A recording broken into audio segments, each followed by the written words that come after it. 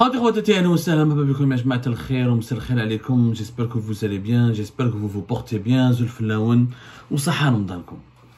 Pour expliquer les problèmes du pays, de son sous-développement, parce que l'Algérie est un pays malheureusement sous-développé. C'est une énigme, tous les experts que nous interrogeons, n'importe quel économiste, vous prenez n'importe quel économiste, n'importe quel expert, n'importe quel spécialiste de la bonne gouvernance, n'importe quel spécialiste du développement durable ou là, du développement économique, vous lui posez des questions sur l'Algérie, comment vous expliquez le sous-développement de l'Algérie, c'est une énigme.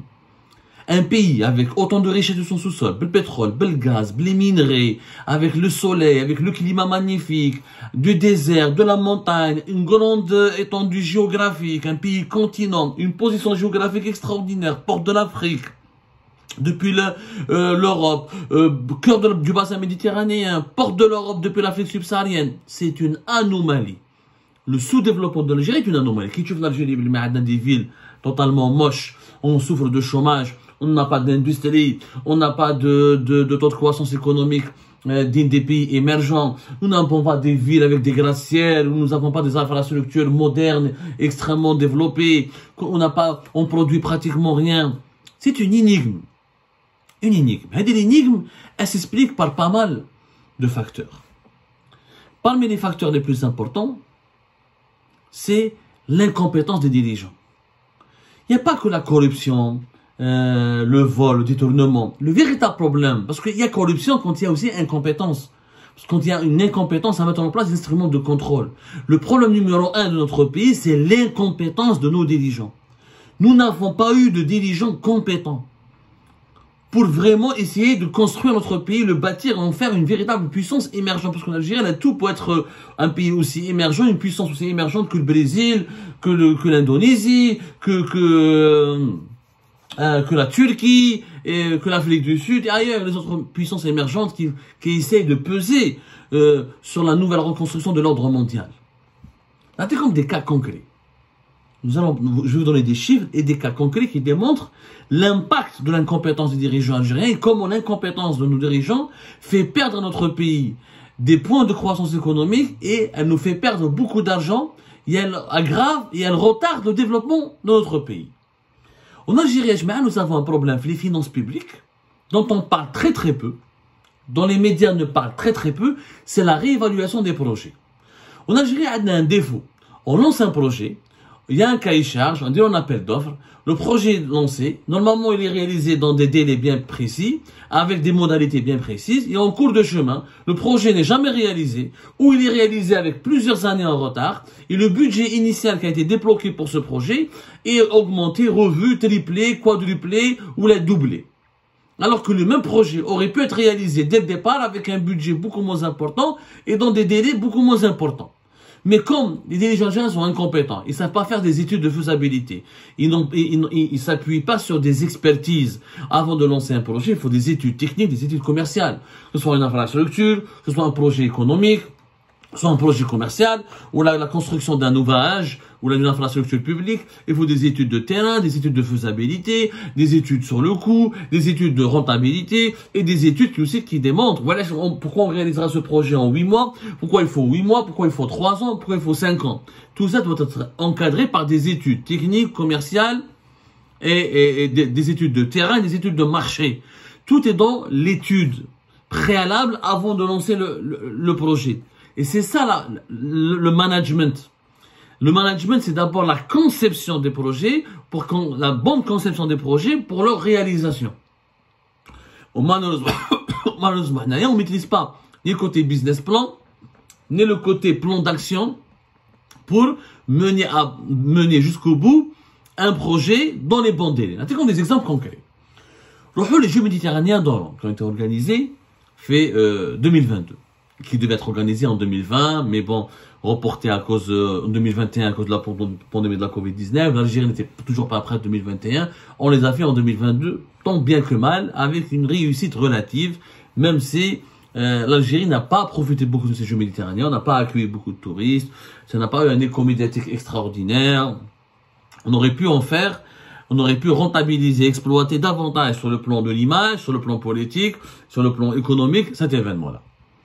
Vous les ouvrages, les infrastructures qui ont été réalisées dans les Jeux méditerranéens, ils incarnent parfaitement le problème de la réévaluation des projets et le problème du manque de maturité et le manque de compétences et le manque de capacité de nos dirigeants à manager des projets importants. Par exemple, le village méditerranéen, qui était le village qui a été construit pour accueillir les athlètes des pays qui sont venus, les athlètes et leurs proches, qui sont venus participer aux épreuves du jeu méditerranéen. Le village méditerranéen, au départ, il a été programmé en 2006. En 2006, on a été terminé qu'en 2021 pratiquement. En 2006. En 2006, il a été programmé pour un budget de 3,8 milliards de dinars. En 2006. Il n'a jamais été réalisé dans les, bien sûr, les délais fixés. Et jusqu'à fin 2020, mais 2006 jusqu'à 2020, le taux de réalisation de ce projet était de 90%.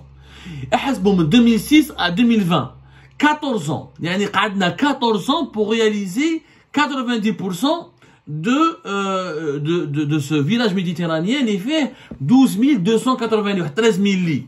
Une capacité d'accueillir 13 000 personnes. On n'a pas construit une ville de 3 millions de personnes. C'est un petit village de 13 000 personnes, pour accueillir 13 000 personnes. Gadna fait 14 ans, il y a un 90%. En attendant, 2006, avec un, budget de 3,8 milliards de dinars, là, jusqu'à 16,1 milliards de dinars. Et à la fin, il a été augmenté jusqu'à fin 2020 à un budget de 19,9 milliards de dinars il son budget a augmenté de 517%. 3 milliards et demi de dinars, c'est combien? C'est l'équivalent de euh, 26 millions de dollars. 3, millions, 3, milliards, 3 milliards et demi de dollars. L'équivalent de 26 millions de dollars. Finalement, à la fin, ce village méditerranéen nous a coûté plus de 19,9 milliards de dinars. 19,9 milliards de dinars, c'est-à-dire 150 millions de dollars on est passé de moins de 30 millions de dollars à plus de 150 millions de dollars. Et le budget a été triplé en 14 ans, une augmentation de plus de 500%.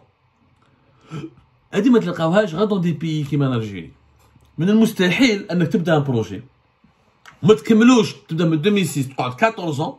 Quand on voit le Qatar, le nombre de projets, de méga projets, d'infrastructures extraordinaires qu'il a réalisé pour sa Coupe du Monde, en un temps record حنا un simple village قعدنا فيه 14 سنه باش كملناه وكملناه même pas 14 سنه كملناه 15 سنه parce qu'en 2021 on a été prêt et le budget تاعو il a triplé 500%. On est passé de 3,8 milliards de dinars à 19,9 milliards de dinars.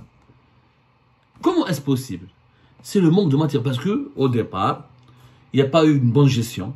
Il n'y a pas eu de bonnes études. Combien nous coûte le village Le, les, études sur l'architecture de ce village, le, coût de ces matériaux de, construction, euh, les délais nécessaires pour sa réalisation, tout cela, normalement, doit être encadré par des études chiffrées, documentées. Où est-ce qu'on choisit tel matériau de construction par celui-là. Euh, Pourquoi le marbre et pas le, et pas le granit? Pourquoi 13 000 places et pas 12 000 places? Pourquoi 15 000 places et pas 13 000 places? Tout doit être... C'est pas normal de, quand on budgétise un projet, il y a des études de faisabilité qui sont techniques, qui sont commerciales, qui sont managériales, qui sont... Euh, c'est des, des, études. Voilà, c'est, ça fait partie du management.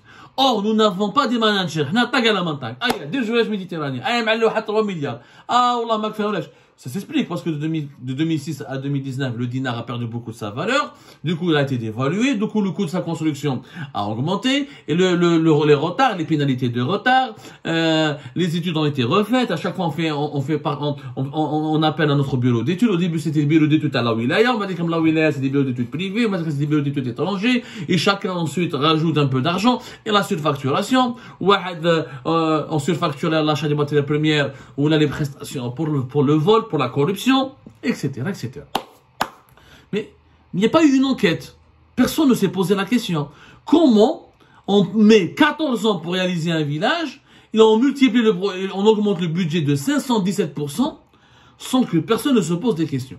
un village, comment voulez-vous dire une grande, une nouvelle autoroute, une, grande, un grand building, une nouvelle capitale? C'est notre incapacité à maîtriser les coûts parce que nous avons une incapacité, notre incapacité à maîtriser les coûts et les délais, elle provient de notre incapacité de, de trouver des managers, d'avoir des managers des dirigeants qui arrivent à faire des bonnes études de terrain et de faisabilité avant de lancer les projets et ensuite de gérer ces projets convenablement. Nous avons un autre cas, le stade olympique. À la nous avons un stade olympique, les Jeux méditerranéens. Le stade olympique une capacité de 40 000 places. Kif Kif, a été programmé en 2006, parce que l'Algérie, en 2006, on a voulu se porter candidate pour prendre les Jeux méditerranéens dans l'an.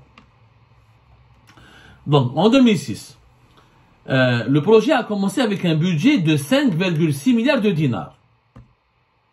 Même il a augmenté euh, euh, non, le budget t'as le stade, il a commencé avec un budget de 2,7 milliards de dinars. En bas, il a augmenté jusqu'à 13 euh, milliards de dinars. Même jusqu'à la fin de l'année 2020, il 14 milliards de dinars. Bas, il a été augmenté encore pour atteindre 15,8 milliards de dinars. Et jusqu'à fin 2020, Kif Kif, qui est le village méditerranéen, le taux d'achèvement des travaux de ce stade était de 80%.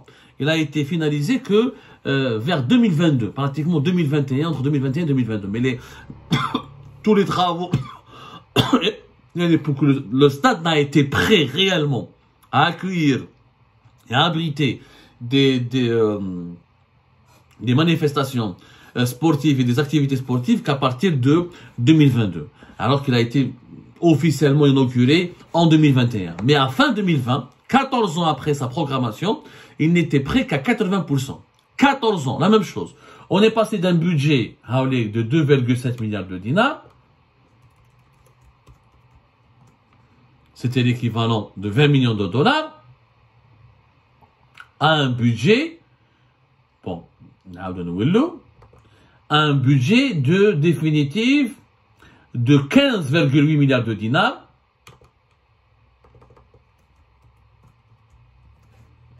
Ah, excusez-moi. 15,8 milliards de dinars, c'est-à-dire plus de 120 millions de dollars.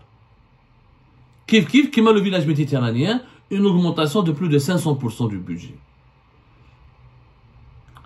Le même problème. Bien sûr, dès le départ, en 2006, on pouvait construire un stade avec 30, 30 millions de dollars, mais ce n'était pas possible. Celui qui a fait des études en 2006, mais ma femme, ce qu'il fait Chanel, comment un stade peut te coûter 300 millions Un stade devrait te coûter presque 100 millions de dollars. C'est très, c'est vraiment impossible de réaliser un stade moderne, bien équipé, etc., à moins de 80-100 millions de dollars. Parce que, 2006, le coût des matériaux de construction n'était pas le même, les études sur le terrain n'étaient pas le même, n'étaient pas les mêmes, le design a changé, les équipements du stade ont changé. Ça nous a coûté des pertes de plus de 500%, puisque les 500% d'augmentation du budget initial du Stade d'Orléans, c'est l'État qui les a payés, donc c'est des pertes. À partir du moment où tu n'as pas réalisé le projet dans les bons délais, et ça t'a coûté 500% plus cher, c'est des pertes immenses pour l'État. Perte de temps, perte d'argent et perte de crédibilité. Ça veut dire qu'on n'est pas capable de gérer des grands projets. Au moins, c'est des projets qui ont vu le jour. À la belle en Algérie, il y a des projets qui sont budgétisés, qui sont programmés, mais qui ne voient même pas le jour. Les budgets sont donnés au ministère, mais ils ne voient même pas le jour. Par exemple, le ministère de l'Intérieur, il y avait 20 projets pour l'équivalent de 10 milliards de dinars, des projets pour la DGSN, des projets pour la protection civile, des projets pour les collectivités locales, et n'ont jamais été lancés. Mais ben Et c'est des projets qui sont inscrits depuis 2011. De 2011 à 2020, des projets ont été programmés pour le ministère de l'Intérieur pour 10,9 milliards de dinars. À la fin, mais ils n'ont même pas été lancés. Wesh, parce qu'ils n'ont pas pu préparer les cahiers de charges. 10,8 milliards de dinars, c'est quand même de l'argent. 10,8 milliards de dinars, c'est pratiquement 80 millions de dollars. Presque 100 millions de dollars. Ils n'ont même pas été, mais 2011, c'est des projets, mais 2011, les mains des rouges.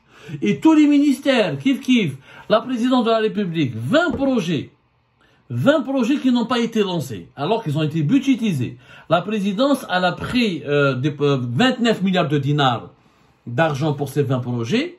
Kif kif, le le montant, ces projets a été réévalué, l'ergo, euh, jusqu'à 48 milliards de dinars. 48 milliards de dinars. Comme 48 milliards de dinars, 48,3, c'est l'équivalent de 360 millions de dollars de projets pour la présidence de la République qui n'ont même pas été lancés alors que l'argent a été donné à la présidence. Il a été affecté à la présidence. Steve Kiff, pas d'études, pas de cahier de charge, pas d'appel d'offres, on n'a pas trouvé de bons prestataires, le président n'a pas signé, le secrétaire général n'a pas signé, Asbar on va étudier, Malkinesh. Tous les ministères, le ministère par exemple de la santé, de la, euh, ministère de la santé, 15 projets qui ont été inscrits entre 2003 et 2004 qui n'ont même, et 2003 et 2014. C'est des projets qui devaient commencer en 2003 et qui devaient être opérationnels au maximum en 2014, 11 ans plus tard. En 2020, Makesh n'ont pas été lancés. Même 2003, où les projets n'ont pas été lancés. Yanni belle. Ou non, qui, qui le premier ministère. Dans tous les départements, il n'y a pas, dans tous les départements ministériels, soit de l'énergie, soit la jeunesse et les sports, euh, qui font de la justice, il y a des études, il y a des projets, il y a des marchés qui ont été accordés, qui ont été attribués, des appels d'offres les cahiers charges pas de réalisation. Où il n'y a pas d'entreprise, où il y a eu des conflits avec les prestataires, des problèmes de paiement, ensuite un ministre, l'instabilité, quand, le ministre le change, le ministre qui va arriver, il va bloquer les anciens projets, il va les relancer parce qu'il va ramener sa propre équipe et va faire ses propres projets. Il n'y a aucune continuité, aucune stabilité, aucune rationalité on bloque des projets, l'argent est dépensé, il est affecté, il est dépensé. Ce sont des milliards que nous perdons dans les réévaluations et dans le blocage de ces projets-là. Des milliards et aussi une perte de temps. Et cette perte de temps, cette perte d'argent, elle engage quoi? Elle provoque quoi? Le, Elle aggrave le sous-développement du pays. Le pays n'a pas ses infrastructures, les projets ils ne sont pas réalisés, les services publics ne sont pas ne se développent pas, les besoins de la population ne sont pas répondus, ne sont pas comblés, ne sont pas satisfaits. Du coup, on a plus de problèmes plus de dysfonctionnement, une mauvaise qualité de vie, ils ont une mauvaise, une mauvaise qualité de vie, des mauvaises conditions de vie, et ça crée du sous-développement. Tout ça parce que nous avons des dirigeants incompétents. L'incompétence de la classe politique algérienne, de la classe dirigeante algérienne, elle se paye cash. Et voilà des exemples concrets qu'on ne peut pas nier, que les dirigeants ne peuvent pas nier. Je vous ai donné les références, je vous ai donné les prix. je vous ai donné les chiffres et les indicateurs. C'est très facile à vérifier. C'est malheureusement cela le problème de notre pays, l'incompétence de notre classe dirigeante.